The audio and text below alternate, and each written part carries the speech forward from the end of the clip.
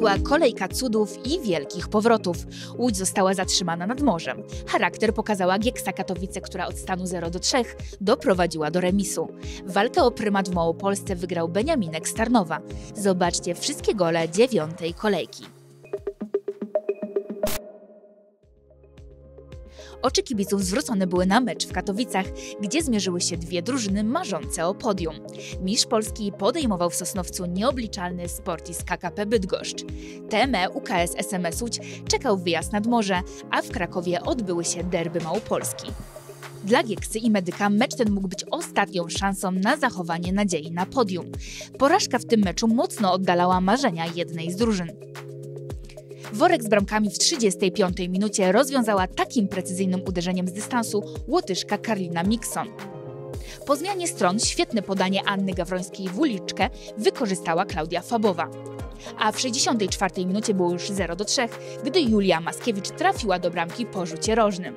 Gieksa jednak w 20 minut odrobiła wszystkie straty. Najpierw w sytuacji sam na sam Oliwie Szymczak pokonała Nikola Brzęczek a w 77 minucie bramkarkę medyka takim uderzeniem zaskoczyła Weronika Kłoda. Katowiczanki dopięły swego w dolczonym czasie gry, gdy wracająca po kontuzji Emilia Zdunek zagrała do Alicji Dyguś, a ta wepchnęła piłkę do bramki medyka. Mecz zakończył się podziałem punktów. Olimpia Szczecin zamierzała kontynuować pasce w starciu ze Śląskiem Wrocław. Już w szóstej minucie rajd Karoliny Iwaśko wykończyła Martyna Buś.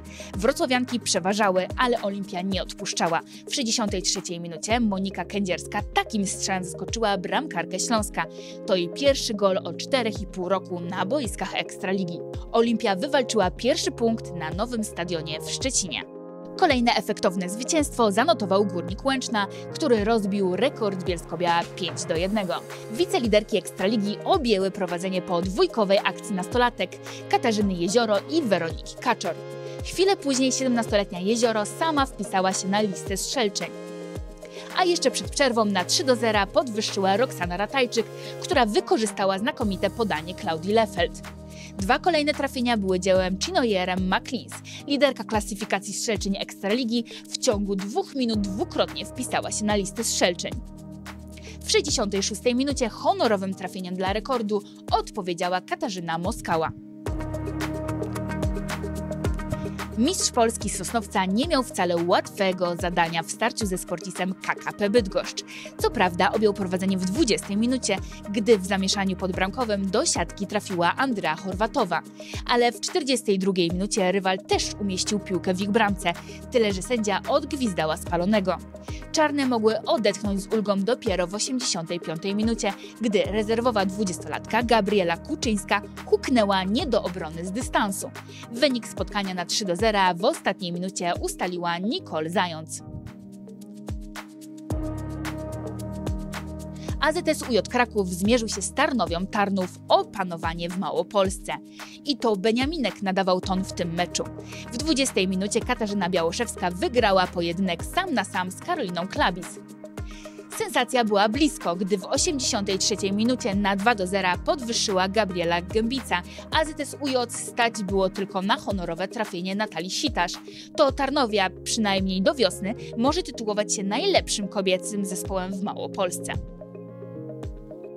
Wyjazd lidera Ekstraligi nad morze nie okazał się formalnością, a Pelotos postawił bowiem trudne warunki. Łodzianki nie potrafiły wykorzystać nawet rzutu karnego, który na początku drugiej połowy przestrzeliła Gabriela Grzybowska. Jedyną bramkę w tym spotkaniu zdobyła w 64 minucie Klaudia Słowińska, która uderzeniem z dystansu zaskoczyła Danutę Paturaj. Podsumujmy wyniki spotkań dziewiątej kolejki. SMS doznał pierwszej porażki w tym sezonie. Czarni Antras pozostają jedynym niepokonanym zespołem w lidze, ale to Górnik strzelił jak do tej pory najwięcej goli. Walka o mistrzostwo zapowiada się niezwykle ciekawie. Na prowadzeniu pozostaje ekipa TME UKS SMS Łódź, ale ekipa Czarnych Sosnowiec wciąż ma zaległe spotkanie w zanadrzu. Obie drużyny rozdziela Górnik Łęczna. Poza podium też wielki ścisk. Tylko 7 punktów dzieli zespoły z czwartego i dziesiątego miejsca. W dziesiątej kolejce niemal wszystkie mecze zapowiadają się ciekawie. Wielki hit w Sosnowcu, gdzie czarni stoczą z Górnikiem Łęczna bój o drugie miejsce w tabeli. W Łodzi liderki tabeli podejmą podrażniony AZS UJ Kraków. Z kolei rozpromieniony ostatnimi zwycięstwami AP Lotos Gdańsk pojedzie do Konina na mecz z rozbitym Medykiem.